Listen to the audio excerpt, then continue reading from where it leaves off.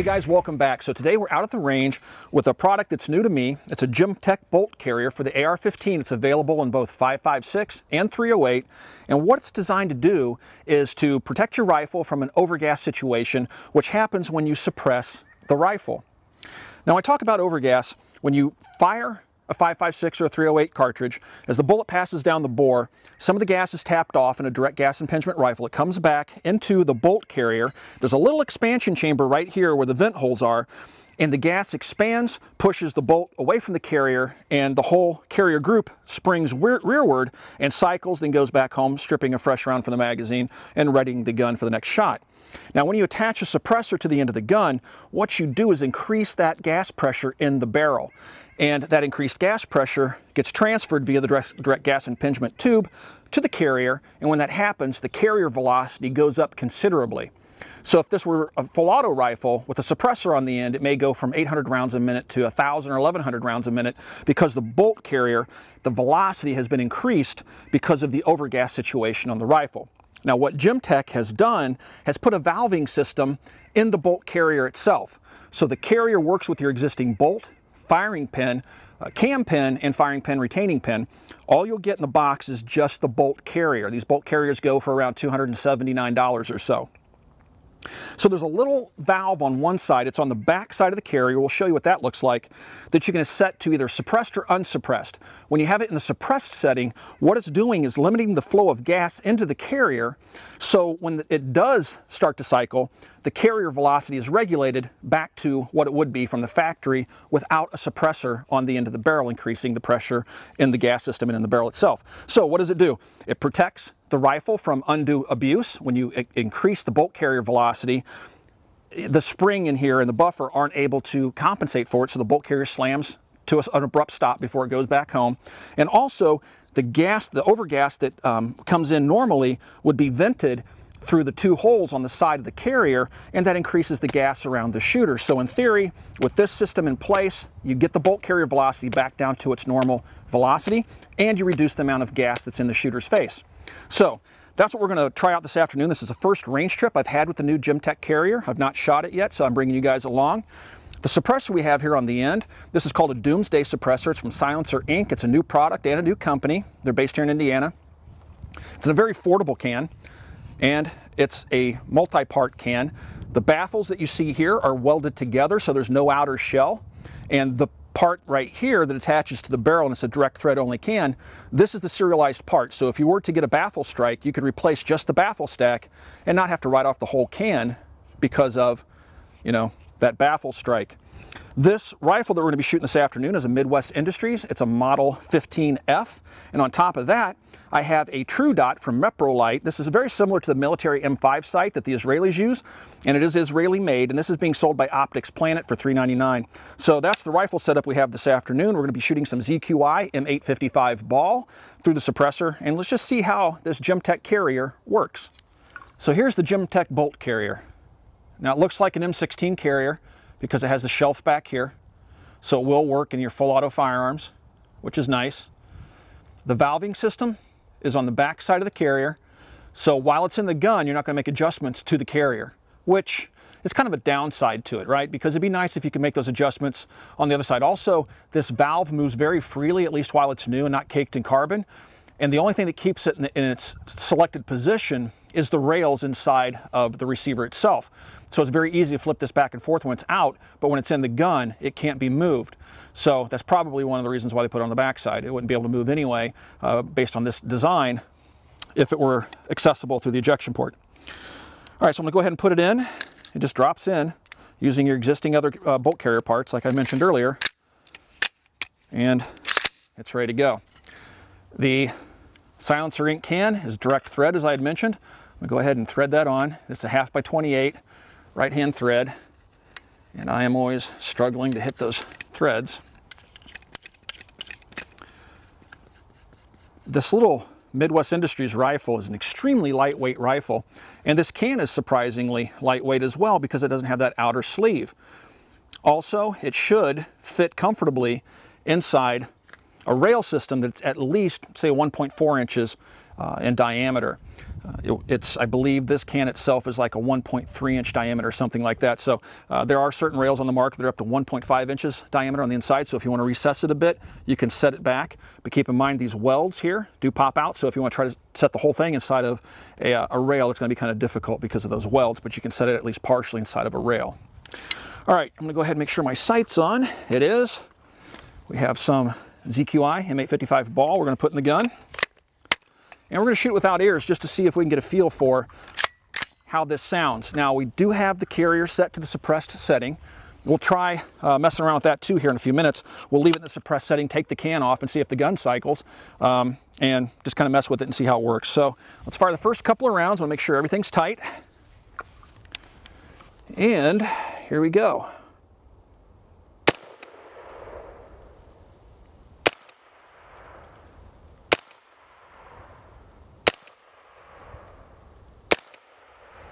All right, so watch the spent casings coming out of the gun. You'll notice that they're just kind of coming out at a standard velocity. The recoil feels just like an unsuppressed AR-15. And I will say, I can hear the definite sonic boom of the bullet breaking the sound barrier down range, but back here at the shooter's ear, it's, uh, it's, it sounds pretty darn good.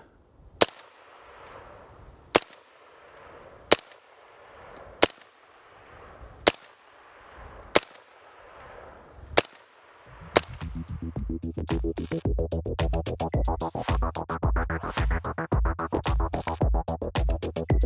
you.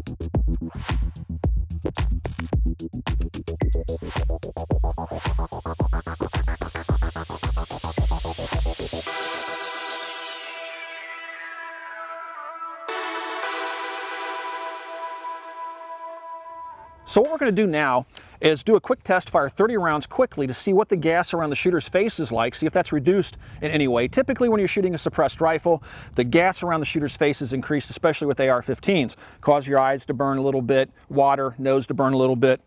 Uh, the other thing we're going to look for is the carrier velocity.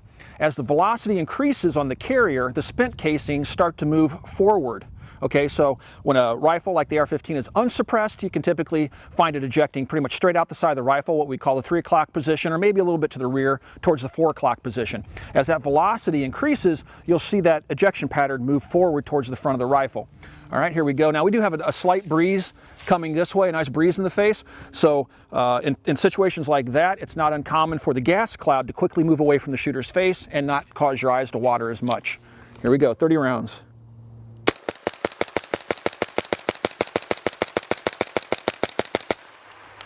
All right, now, I don't know if it's a function of the wind or what, but even that time I didn't even feel that much gas in my nose and my eyes aren't watering whatsoever.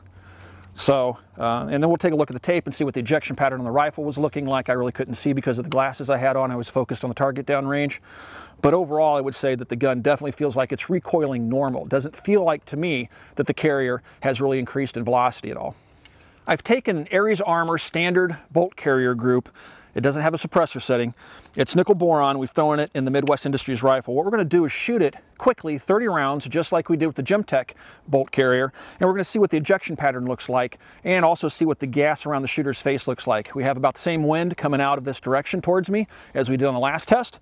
So also you should note that as it starts to run out of ammunition in the magazine, the bolt carrier velocity starts to increase slightly because the pressure on the bottom of the bolt carrier is reduced as the magazine runs dry. So when you watch a machine gun fire, you'll start off ejecting over here and it'll slowly move forward uh, as the magazine runs dry because the bolt's speeding up a little bit. All right, here we go, 30 rounds with the standard bolt carrier. Let's see what it does.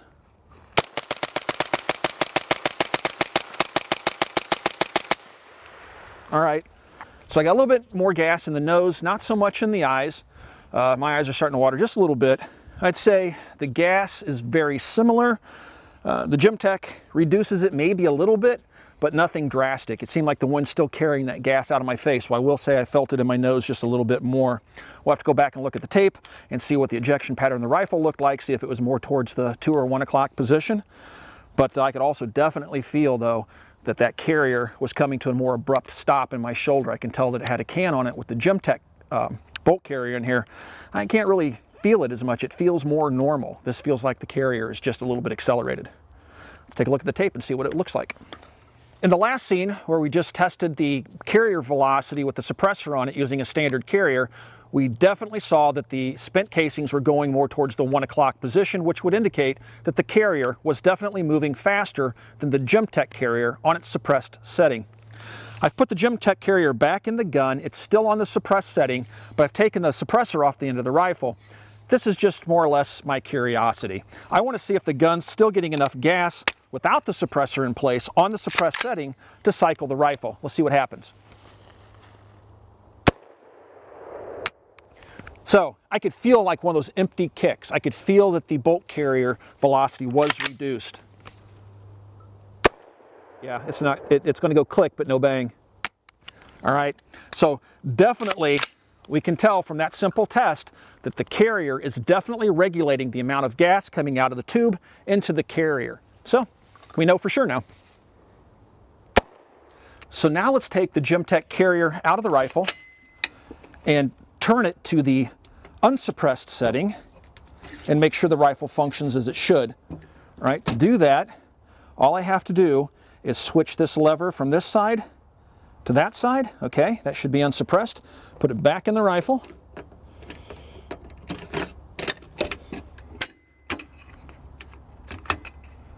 Seal it up, grab my ears, can't forget that. I've wrung my ears more than once. And grab the magazine. Let's head over to the range really quick. All right, here we go. No, uh, no suppressor on the end of the rifle, and the carrier is set to the unsuppressed position.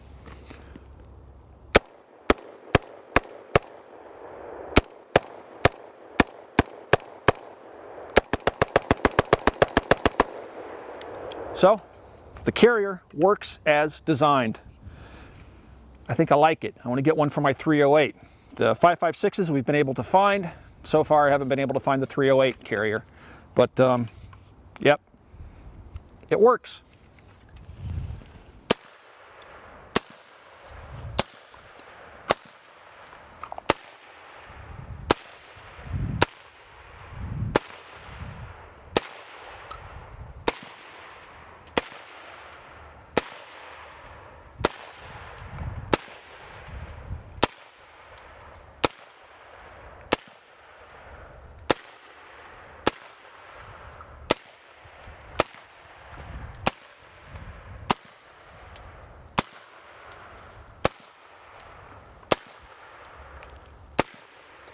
I hope you guys enjoyed coming out to the range for our first range session with the Gemtech 556 suppressor carrier. I will say that I'm sufficiently impressed with the carrier. I'm going to leave it in this rifle and shoot it quite a bit more. Uh, it seems to do everything that it was advertised to do. They're, again, about $279.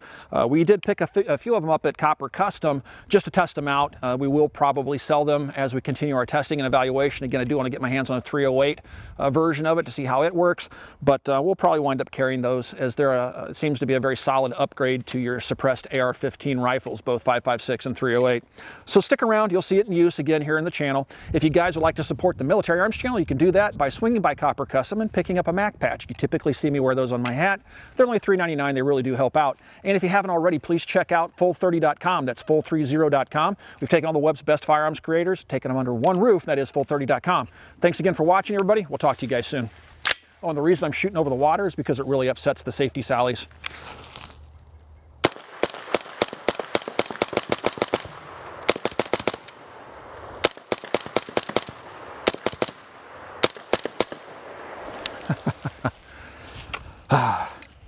Time to go home.